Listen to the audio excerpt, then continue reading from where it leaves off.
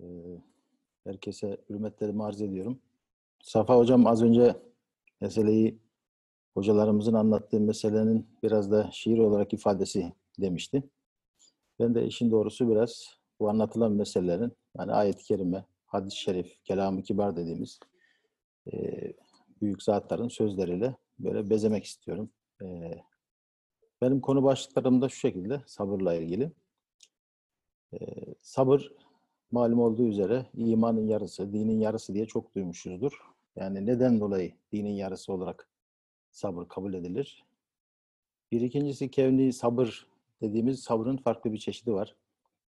Yani bizim e, ekseriyetle mesele yani ilahiyat noktayı nazarından baktığımızda yani din açısından yani şer'i açıdan meseleye baktığımız zaman sabrın bir tarifi vardır, tanımı vardır.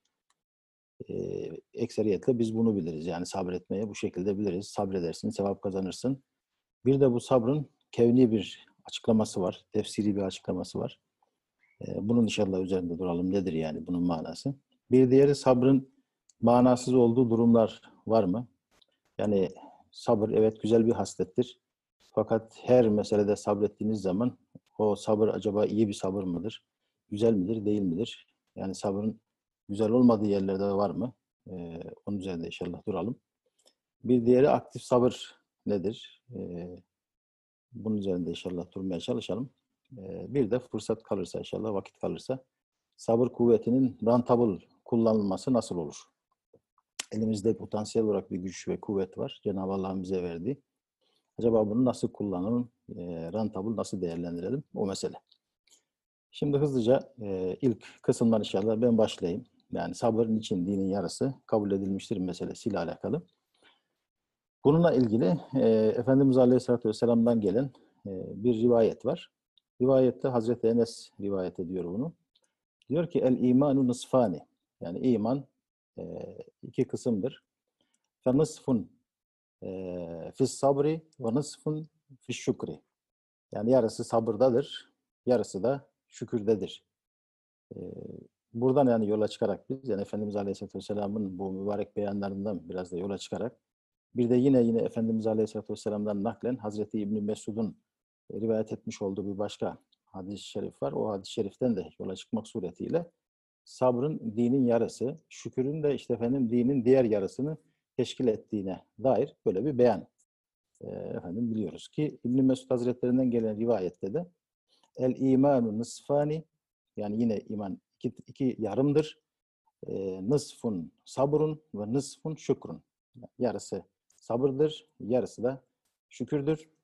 Ve lihaza işte bundan dolayıdır ki Allahu subhanehu beyne sabri ve şükri fi kavlihi bu sebepledir ki Cenab-ı Allah e, sabır ve şükrü şu ayeti kerimede ikisini yan yana getirmiş ve birleştirmiştir diye devam ediyor İbn Mesud Hazretleri.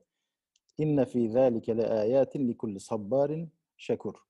Yani bir meseleden bahsediyor. Ondan sonra diyor ki işte bu meselede sabbar olan, şekur olan e, kimseler için ayetler var, işaretler var buyuruyor ayet-i kerime. İşte bu ayet-i kerimede sabbar ve şekur ikisi beraber kullanıldığından dolayı da yani sabır ve şükür. E, buradan yola çıkmak suretiyle de işte dinin yarısı, imanın yarısı sabırdır. Geri kalan yarısı da işte efendim şükürdür diye genelde böyle söylemişler. Tabii bunun izahına giriştiğimiz zaman neden dolayı bu böyledir meselesi. O zaman e, hocalarımız da bunu ifade etmeye çalıştılar. E, ben de inşallah genel manada bazı şeyleri ifade etmeye çalışayım. E, bu ifade edeceğimiz şeyler görüldüğü zaman anlaşılacak ki hakikaten sabır çok önemli bir haslet ve sabrın üzerine çok dinin çok esasatı bina ediliyor. Ee, sabreden bir insan dinin o esaslarını, o kanunlarını ve kurallarını daha rahat bir şekilde yapabiliyor. Ee, şimdi Hulusi Hocam 6 zannediyorum bölüme ayırdı. Ben biraz daha genel olarak meseleyi ele alacak. Daha böyle genel e, bu meseleyle alakalı yazılmış olan işte kitaplarda, bilhassa tasavvuf kitapları malumunuz bu sabır meselesini çok ele alıyor ve işliyor. E, oradaki genel olan e, çeşitlemeden bahsedeceğim. Yani tafsilatlı olandan bahsetmeyeceğim. E, bu genel olan çeşitleme yani genel olan üçe, genel manada üçe ayırıyorlar bu şeyi, sabrı. Bir diyorlar ibadetlerde sabır. iki e, günahlara karşı sabır. Bir de bela ve musibetlere karşı sabır. Yani Cenab-ı Allah bizden bazı şeyler isteyecek. Buna sabredeceğiz. Bazı şeyler bunları yapmayın diyecek. Bunlara karşı sabredeceğiz. E, Bazen bela ve musibet gönderecek. Yani bazen bu bela ve musibetler semavi olacak. Semavi dediğimiz yani bizim takatimizin ötesinde insanlara bağlı olmayan şeyler. İşte bu son dönem gelen belki de Allah alem şeyler gibi yani virüsler gibi. e, seller gibi, zelzeleler yani bu depremler gibi. Bazen de insanların eliyle gelecek bela ve musibetler. Bunlara karşı sabır. Yani dikkat ederseniz zaten insan ibadete sabrettiği zaman, e, günaha karşı da sabredip günaha girmediği zaman, e, bir de başına gelen bela ve musibetlere sabrettiği zaman e, o zaman zaten dinin yarısını elde etmiş olacak. Yani dinin yarısını yaşamış olacak ki ondan dolayı dinin yarısı sabırdır, işte imanın yarısı sabırdır, geri kalan kısmı da şükürdür diye ifade ediliyor. E, bunları teker teker e, ben sadece birkaç ayet-i kerimeyle hızlıca ele alayım.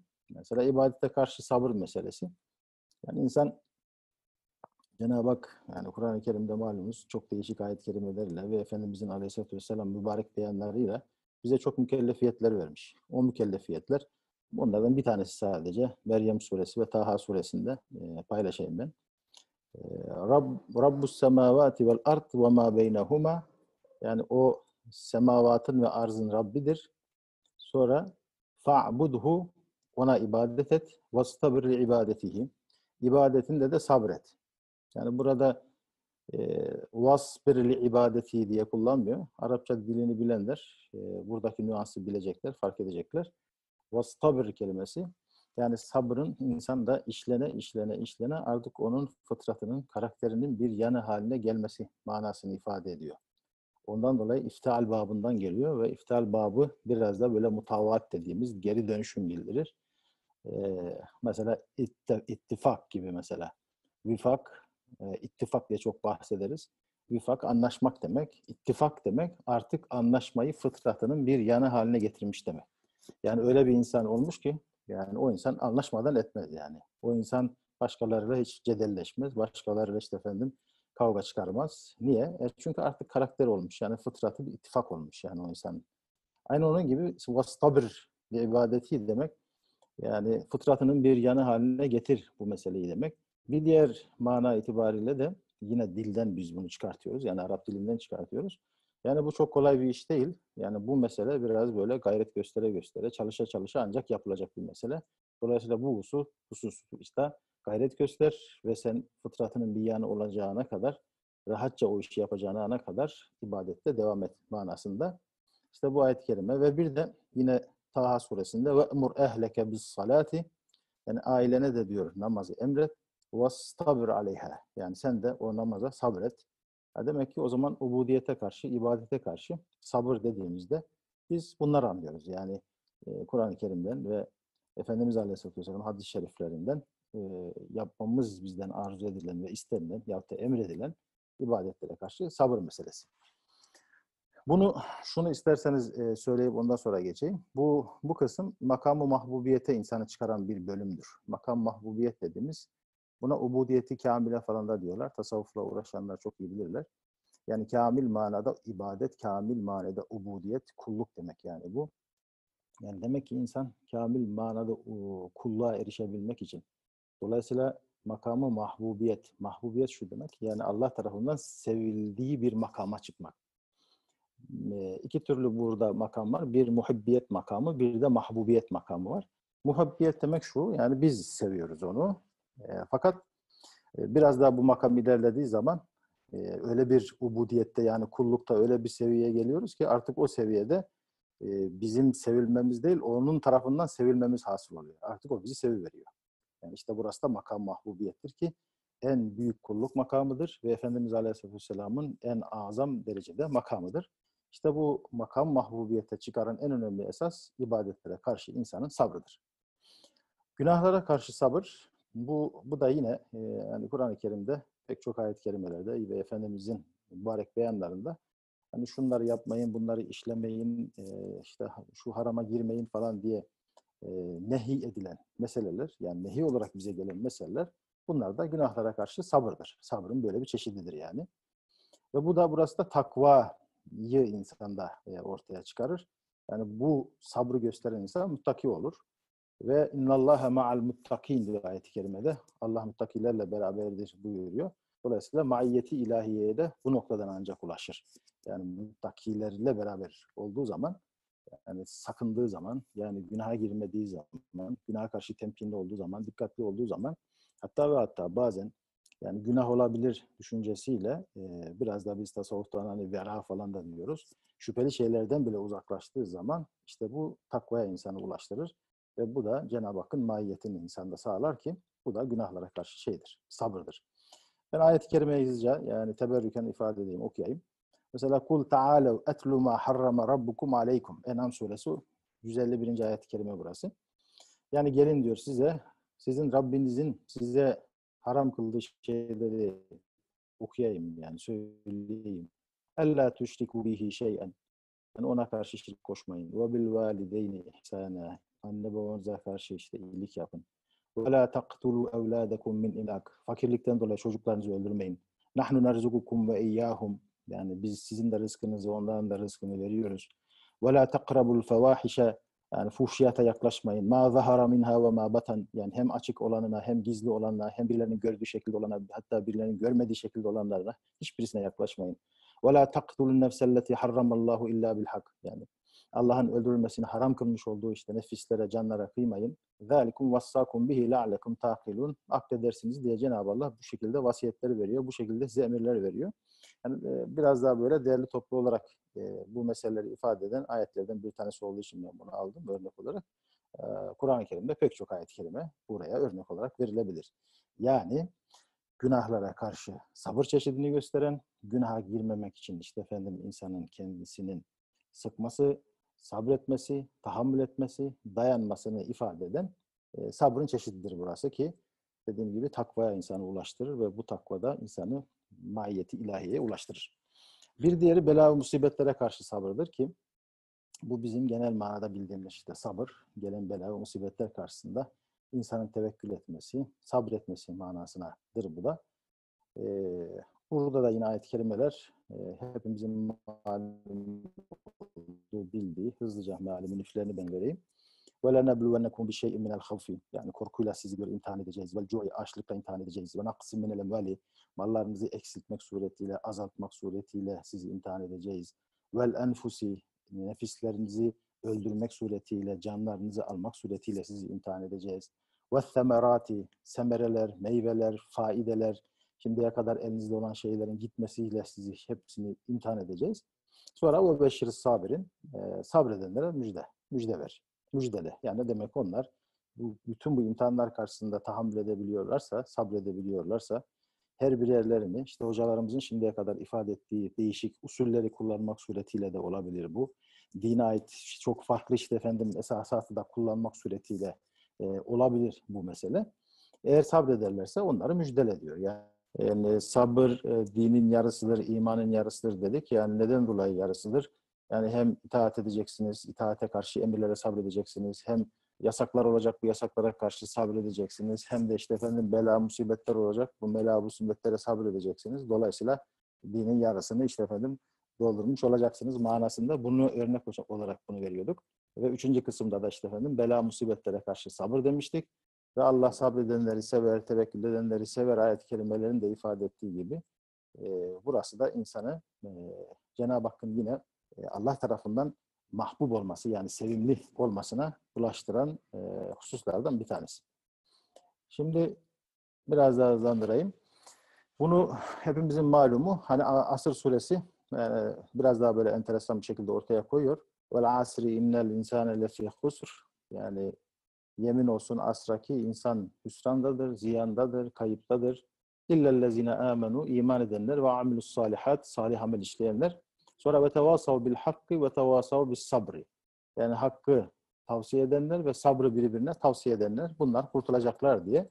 Burada da hak ve sabrın tavsiyesi dört esas ortaya, ortaya konmuş. Yani iman, imandan sonra salih amel, salih amelden sonra hakkın tavsiyesi, hakikatin tavsiyesi ve bir de sabrın tavsiyesi konmuş.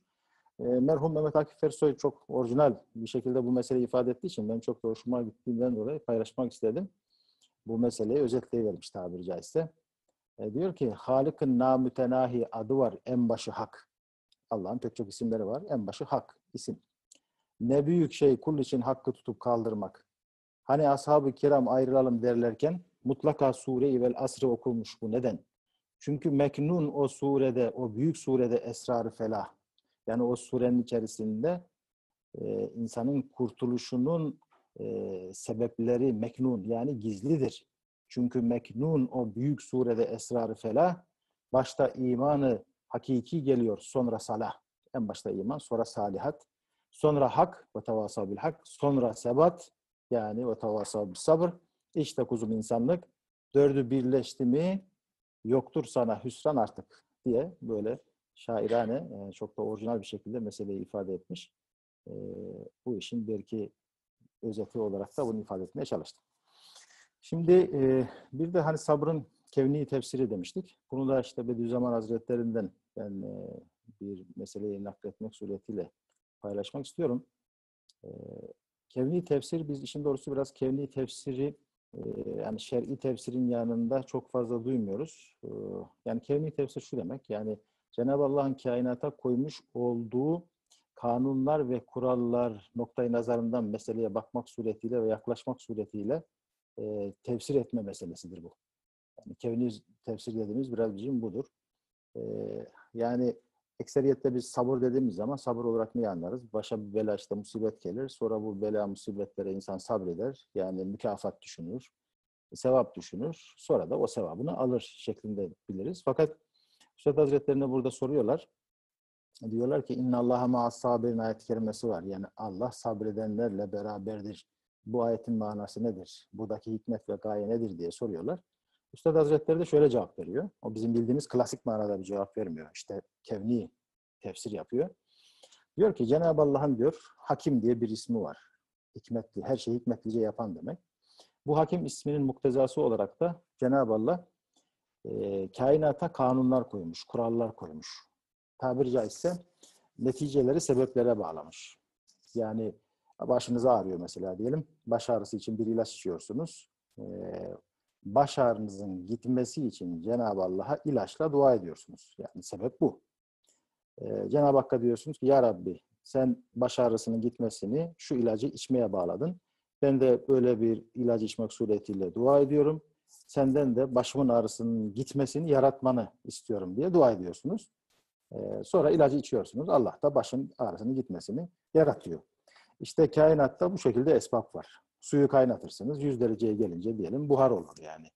O buharlaşmanın e, sebebi nedir? E, suyun kaynatılmasıdır. Yani bu hakim ismi muktezasınca ekseriyetle bu kainatta şeyler olsun diye, kanunlar, kurallar olsun ve ilimler teşekkül etsin diye bu isim muktezası olarak bu sebepler yapıldığı zaman Allah neticeyi yaratır. Yüzde 99 yaratır.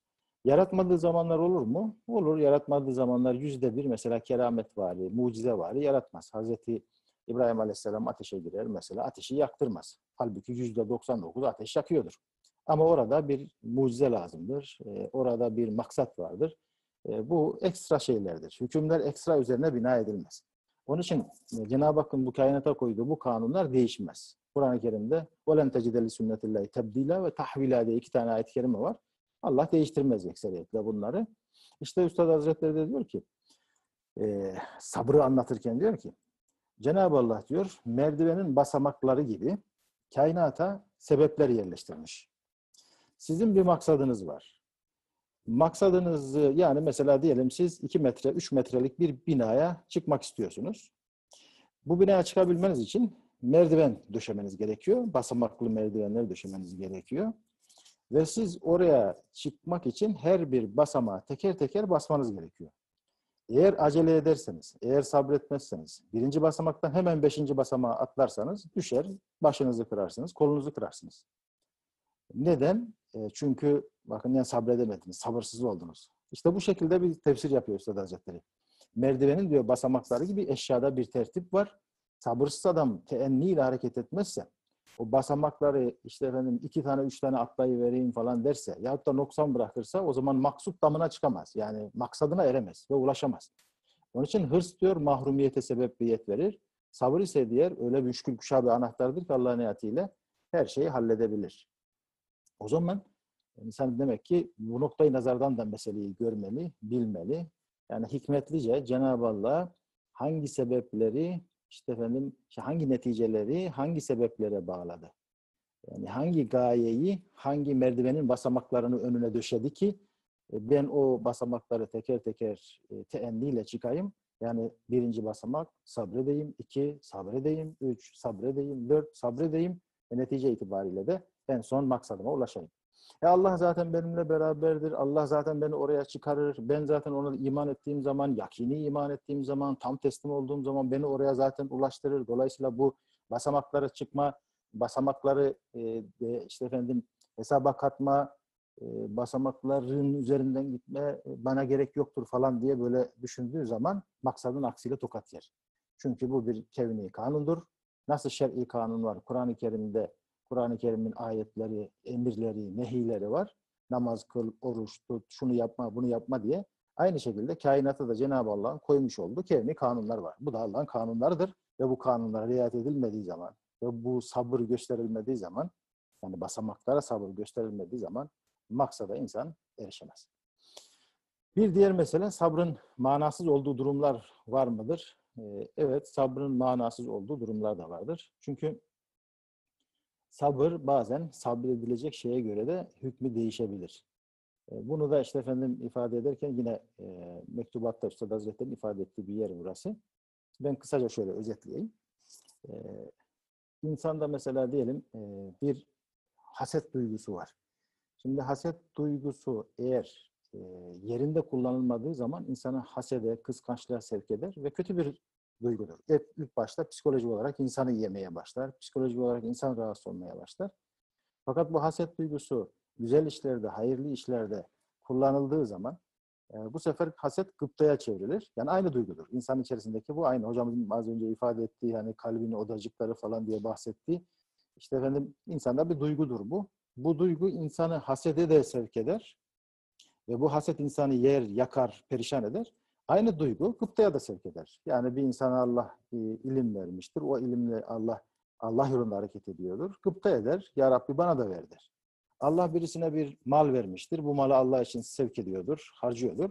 Ya Rabbi bana da ver ben de senin için harcayayım falan diye. Bakın haset aynı duyguyu, içindeki aynı duyguyu o tarafa değil de bu tarafa doğru çevirir. Dolayısıyla da hayırlı bir işte bu işi kullanmaya başlar. Şimdi aynı şekilde sabırda da öyledir. Yani sabır, mesela küstüm.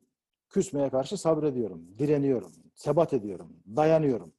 E o zaman burada sabır bir işe yaramaz. Çok bir kıymet ifade etmez ki buna biz inat diyoruz. Yani sabır duygusunu bizde hasıl eden o duygu burada inada çevrilir. Ve kıymetsiz olur. Mesela batıl bir meselede e, belki işe yaramaz bir meselede inat ediyorum. Yani sabrediyorum. Dolayısıyla inat ediyorum. Benimle bir şey geçmiyor. Bir, bir işime de yaramıyor. Fakat aynı duygu sebata doğru çevrildiği zaman hakta mesela diyelim sebat etmeye çevrildiği zaman mesela barışta ki birkaç tane örneğini ben burada yazmaya çalıştım. Mesela batılda sabır olursa inat olur. Manasız inat. Haksızlıkta sabır olursa manasız inat olur. Küsmekte sabır olursa manasız inat olur. Öfkede sabır olursa manasız inat olur. Ama hakta olursa aynı sabır, aynı latifeyi kullanıyoruz bizdeki. Hakta yap gösteriyoruz bunu, e, sebat olur. Hukukta sabır yani haksızlıkta değil de hukukta sabredersek Allah niyetiyle sebat olur. Barışta sabrederiz. Hani efendim öfkede değil de afta sabrederiz. Yani sabrı oralarda kullanırız. Dolayısıyla da inadımız sebata Allah niyetiyle çevirmiş olur. Şimdi aktif sabır deyince nasıl olur? Aktif sabır, sabır yani aktif sabır dediğimiz şu, bir tarafa çekilip, bir kenara çekilip, işte efendim içine kapanıp, öyle atıl atıl, tembel tembel durma. Ya ne yapıyorsun? İşte efendim sabrediyorum. Hayır bu böyle sabır olmaz. Sabır nasıl olur? Mesela size dediler ki şu alanda duracaksın. Bak burada sabredeceksin. Dur, durman lazım yani. Orada dururken bile dolaşarak, o alanda dolaşarak durursunuz. Yani aktif aktif durursunuz. Ne yapılabilir? Nasıl ölçülebilir burası? Burada ne yap nasıl burası değerlendirilebilir falan dolaşırsınız. Efendim dediler ki yerinizde durmanız gerekiyor. Size bir alan bile tanımadılar. Yani yerinde duracaksın. E bu sefer yerinde yerinde sayarak durursun. Hani yerinde say diye askerlikte meşhur bir şey var ya. Yani uygun adım marş var. Bir de efendim yerinde say var. E şimdi yerinde duruyorsun ama yine kıpır kıpırsın. Yine hareketlisin. Yine bir şeyler düşünüyorsun. Yine ne yapabilirim, ne edebilirim falan diyorsun. E, Dolayısıyla bakın aktif, sabrı aktifleştiriyorsun. Sabırdan istifade ediyorsun. O durduğun yerde, o durduğun yeri nasıl değerlendirebilirimin işte efendim düşüncesine gidiyorsun. Efendim kıpırdamadan dur diyorlar. Yani sana durduğun yerde ayak hareketi bile sağlamıyorlar. Kıpırdamadan durman gerekir. E, kıpırdamadan uzak bu sefer ağaçları örnek alırım. Onlar kıpırdamadan duruyorlar ama bak meyve veriyorlar. Yani dolayısıyla ben de burada kıpırdamadan durarak nasıl meyve verebilirim, ne yapabilirim, ne edebilirim? E bu sefer bunları düşünmeye başlamak. İşte aktif. Yani sabrın aktif, aktif olması demek. Mesela evde durman gerekiyor. Çıkamıyoruz şimdi bakın. Buyurun. Bütün aleme açılabiliriz Allah'ın izniyle. Allah razı olsun. Arkadaşlar vesile oluyorlar. Sizler de bu Allah razı olsun geliyorsunuz mesela ifade ediyorsunuz. Bakın bütün aleme açılabiliriz. E, evde duralım. E, sabredelim. E, nasıl sabredelim? E, yatalım. E, yatarak sabredilmez ki işte hocamız da ifade etti az önce. Yat, yattığımız zaman mesela daha da problemli hale gelecek. İşte aktif hale getirmek. Efendim geride durma, durman gerekiyor. Burada değil geriye çekilmen gerekiyor. E, ben burayı aktif sabır adına nasıl değerlendiririm? Bir ok gibi düşünürüm kendimi. Nasıl ok aslında geriye doğru gider ama fakat o ileriye atılmak için geriliyordur. Kendini hazırlıyordur Allah'ın ayetiyle. Dışarıdan zahiren baktığın zaman onu geriye gider gibi görüyorsun ama aslında o daha da ileriye atılmak için gerilme meydana getiriyordur. Dolayısıyla ben de geride durmam gerekiyorsa gerilmeye geçerim. Orada kendimi beslerim. Yarın Cenab-ı Allah hani bazen barajlar öyledir. Yani baraj suyun önüne koyarsın engel olur. İş yaptırmaz ona. Akmasına işte efendim fırsat vermez. Normalde engeldir bu yani. Manidir bu. Der ki suya sabret burada. E, sabreder ama fakat o orada, orada sabrederken gerilir, gerilir, gerilir, gerilir Allah'ın ayetiyle. Cenab-ı Hak yarın bir gün kapıları açıverdiği zaman daha önceki gücünden, kuvvetinden daha fazla güç ve kuvvetle Allah'ın ayetiyle daha fazla iş yapabilir. Efendim bu maniler, engeller olmadan önce iki tane değirmeni çevirirken bu maniler olduktan sonra o gerilimle okun geriye doğru çıkması ve gitmesi gibi Allah'ın ayetiyle bin tane değirmeni çevirecek hale kendisini getirebilir. Yani bakın ne oldu? Gene aktif sabır oldu. Ni, musibette durmak gerekirse niyetle sevaba çevirir. Yani aktif sabır yapar. Dua okuyarak işte efendim durması gerekiyorsa dualara bakar. Yani bu dua benden ne istiyor yani? Evet yani ya, ya Rabbi beni sebatkar eyle diye bir dua var. O zaman hemen şöyle düşünür. Aktif olarak bunu ben nasıl değerlendireyim? Yani demek ki Allah bana beni sebatkar eyle diyorsa o zaman sebatkar olma adına ne yapmam gerekiyorsa bunlar da benden istiyor falan diye düşünür. Hemen sebat için ne lazım, nasıl lazım, ne okumak lazım, neyi dinlemek lazım, kimle görüşmek lazım, kimlere danışmak lazım falan hemen meseleyi devreye sokar ve dolayısıyla da aktifleştirir. Elhasıl en sonunda e, rentable meselesi de bu da çok malum ve maruf bir mesele. Bunu da hızlıca söyleyivereyim. Üstad Hazretleri de bunu meseleyi ele alırken ifade ettiği şeylerden bir tanesi şu hatırlayacaksınız. İnsanda diyor bir sabır kuvveti var. Bu sabır kuvvetini diyor geçmişe, hocamız hani az önce ifade etmeye çalıştı. Yani aynalardan dikiz aynasıyla geriye bakma falan dedi. Şimdi geçmişe doğru kullanırsak bir kısmını, bir kısmını da geleceğe doğru kullanırsak. Halbuki diyor ki Üstad Hazretleri, geçmiş diyor gitti artık yani elinden çıktı. Geçmişte şöyle olmuştu, böyle olmuştu, şu da vardı, şu şöyle de. Ya sabrı o tarafa bir kısmını dağıtırsak. Gelecek diyor daha mesela hala gelmemiş. Hani geleceğe plan proje yapmak ayrı bir şeydir. Ama bir de geleceğin kaygılarını ve endişelerini daha gelmeden şimdiden taşımak bu daha da ayrı bir derttir. Yani sabır kuvvetinin bir kısmını da şöyle gelirse başıma, şu da olursa, şu da gelirse, şöyle de karşıma bir şey çıkarsa falan diyerek oraya doğru göndermektir ki e şimdi ben de diyelim 100 kuvvetinde bir sabır vardı. İşte 20-30 tanesini daha olmamış hadiselere gönderdim.